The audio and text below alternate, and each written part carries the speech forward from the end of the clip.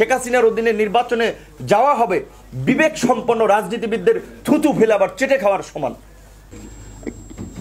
নির্বাচন কমিশন যে বিশেষ করে নিবন্ধন পাওয়ার জন্য যে তিনটি শর্ত দিয়েছে, তিনটি শর্তই আমি মনে করি নিবন্ধন যাতে না পায় নতুন দলগুলো, সে কারণেই এই ধরনের জটিল শর্তগুলো দেওয়া হয়েছে। যে আপনার আমি আঠারো সালে সেই ছাত্র আন্দোলনের মধ্যে দিয়ে আমাদের বলতে গেলে একটা মানুষের কাছে পরিচিতি, ছাত্র আন্দোলন থেকে বিভিন্ন আন্দোলন সংগ্রাম করে আজকে মানুষের কাছে আমাদের একটা আস্থা, বিশ্বাস, গ্রহণযোগ্যতা তৈরি হয়েছে। ডাকসুর বিপি ছিলাম, ক্যাম্পাস রাজনীতি করেছি, পড়াশোনা শেষ, এখন আমরা জাতীয় রাজনীতি করছি। আমরা ছাত্র, যুবক, তরুণদের পাশাপাশি আমরা সিনিয়র বয়োবৃদ্ধদের একটা অংশ যারা একটা পরিশীলিত রাজনীতি করতে চায়, তারা অনেকে আমাদের সাথে জয়েন করেছে। তো এখন আমরা একটা রাজনৈতিক দল গঠন করেছি, গণ অধিকার পরিষদ। আমরা আগামী নির্বাচনে ধরেন যদি যদি নির্বাচন হয় ফ্রি ফায়ার ইলেকশন শেখ হাসিনার অধীনের ইলেকশন না। শেখ হাসিনার অধীনে ইলেকশনে আমরা যাব না। কারণ আমরা আগে বলেছি, শেখ হাসিনার অধীনে নির্বাচনে যাওয়া হবে বিবেক সম্পন্ন রাজনীতিবিদদের থুতু ফেলে আবার চেটে খাওয়ার সমান। ঘৃণ্য কাজ হবে। কারণ সমস্ত রাজনৈতিক দলগুলো কিন্তু বলছে যে শেখ হাসিনার অধীনে সুষ্ঠু নির্বাচন সম্ভব নয়। বিশেষ করে দু হাজার আঠারো সালে এই আমাদের জাফরুল্লাহ স্যার রয়েছেন। ডক্টর কামাল হোসেনের ব্যক্তিত্ব, আসম আব্দুর রব্বাইয়ের মতো ব্যক্তিত্ব, যাদের ছাড়া বাংলাদেশের ইতিহাস অস্তিত্ব কল্পনা করা যায় না। তাদেরকে সামনে বসিয়ে শেখ হাসিনা এইভাবে বক্তব্য রেখেছেন, আমার প্রতি আস্থা রাখেন। বঙ্গবন্ধু কন্যার প্রতি আপনার আস্থা রাখেন। সে আস্থার প্রতিদান তিনি কি দিয়েছেন, কি প্রতারণা করেছেন, এগুলো আমরা দেখেছি।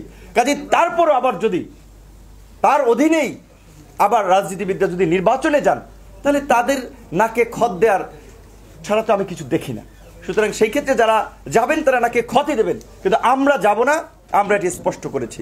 তো সেই ক্ষেত্রে আজকের এই যেটা আমরা বলেছি যে, আওয়ামী লীগ এবং অন্যান্য বড় বড় রাজনৈতিক দলগুলো, তারা ক্ষমতার প্রশ্নে তাদের মধ্যে একটা দ্বন্দ্ব আছে।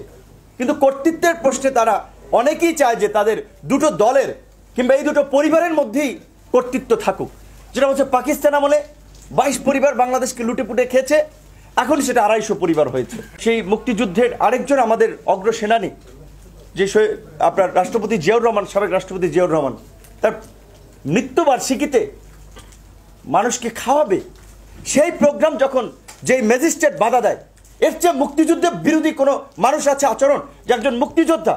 বাংলাদেশে বঙ্গবন্ধুর সেই অনুপস্থিতিতে, বঙ্গবন্ধুর পক্ষ থেকে যিনি বাসি বাজিয়েছিলেন, তার মৃত্যুবার্ষিকীতে একটা মিলাদ মাহফিল করতে পারবে না। পুলিশ বাধা দিচ্ছে।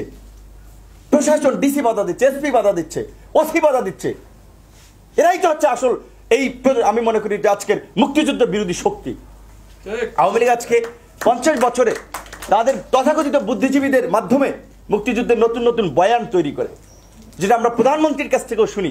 যে বলে যে যারা সশস্ত্র লড়াই সংগ্রাম করেছে মাঠে তাদের নিয়ে নানা ধরনের প্রশ্ন তোলা হয়। যে তিনি বন্দুক মানে ধরেন নাই। আবার বন্দুক ধরেছেন তো গুলি ছোড়েন নাই। এই ধরনের নানা ধরনের অবান্তর কথাবার্তি আমরা শুনি। এটা খুব দুঃখজনক এবং সবচেয়ে উদ্বেগজনক হচ্ছে এটা যে একটা রাষ্ট্রের সর্বোচ্চ জায়গা থেকে যখন প্রতিনিয়ত মিথ্যাচার করা হয়, সেটা তো সেই জাতির মোরালিটি ধ্বংস করার জন্য তো আমি মনে করি যথেষ্ট।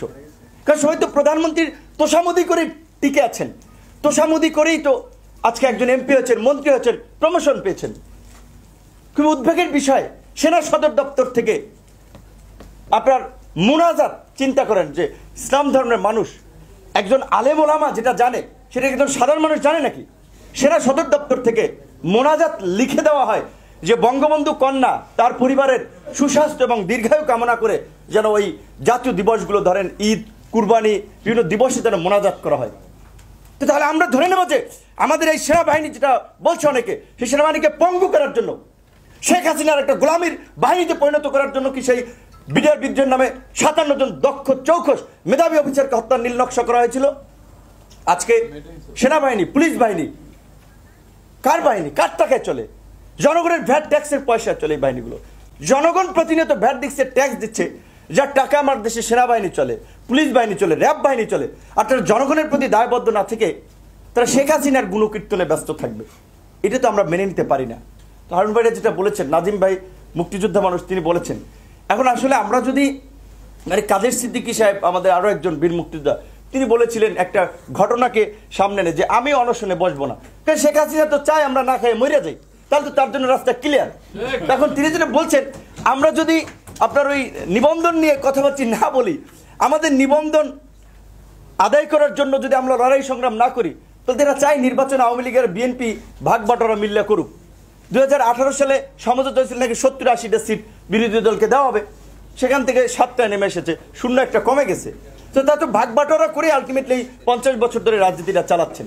সুতরাং সেক্ষেত্রে অবশ্যই এখন সময় এসেছে। আমি আমাদের সৌভাগ্য, আমরা জাফরুল্লাহ চৌধুরীর মতো ব্যক্তিকে এখন আমরা পাচ্ছি। এখনও জনগণের গণতান্ত্রিক দাবি দেওয়া, অধিকার আদায়ের আন্দোলনে তিনি আমাদের পাশে থাকার চেষ্টা করেন। আজকের এই নিবন্ধন যে শর্তগুলো রয়েছে সেই শর্ত অবশ্যই আরও সহজ করতে হবে এবং রাজনৈতিক দলগুলো যেন সহজে নিবন্ধন পেতে পারে।